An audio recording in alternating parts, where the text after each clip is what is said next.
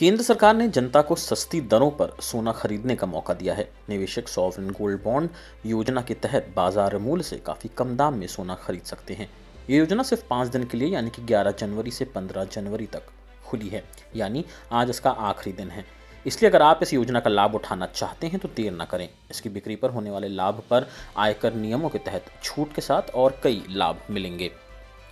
योजना के तहत निवेश करने की अवधि 11 जनवरी 2021 से शुरू हुई है। 15 जनवरी 2021 तक योजना खुली है। सरकार की ओर से योजना में निवेश के लिए पाँच दिन का समय दिया गया है। सरकार की ओर से गोल्ड बॉन्ड में निवेश के लिए यह वित्त वर्ष 2020-21 की दसवीं श्रृंखला है।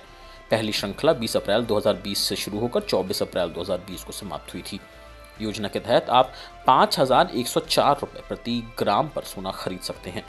यानी अगर आप 10 ग्राम सोना खरीदते हैं तो उसकी कीमत इक्यावन हज़ार चालीस रुपये बैठती है और गोल्ड बॉन्ड की खरीद ऑनलाइन तरीके से की जाती है।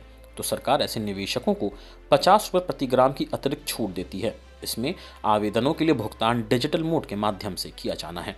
यानी ऑनलाइन सोना खरीदने पर निवेशकों को प्रति ग्राम सोना पाँच हज़ार चौवन रुपये का पड़ेगा। ऐसे में आपको पचास हज़ार पाँच सौ चालीस रुपये में दस ग्राम सोना मिल सकता है। स्वर्ण बॉन्ड बैंकों stock holding corporation of India नामित डाकघरों मान्यता प्राप्त स्टॉक एक्सचेंजों यानी कि एनएससी और बीएसई के माध्यम से बेचा जाएगा।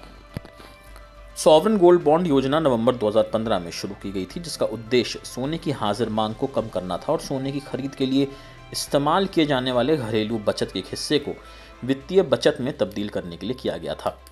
गोल्ड बॉन्ड की परिपक्वता अवधि आठ साल की होती है और इस पर सालाना ढाई फ़ीसदी का ब्याज मिलता है।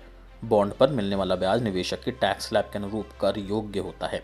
लेकिन इस पर स्रोत पर कर कटौती यानी कि टीडीएस नहीं होती है।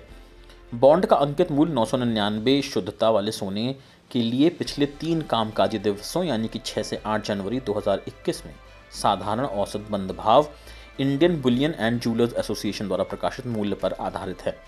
न्यूनतम स्वीकार्य निवेश एक ग्राम सोना और अधिकतम चार किलो प्रति व्यक्ति है।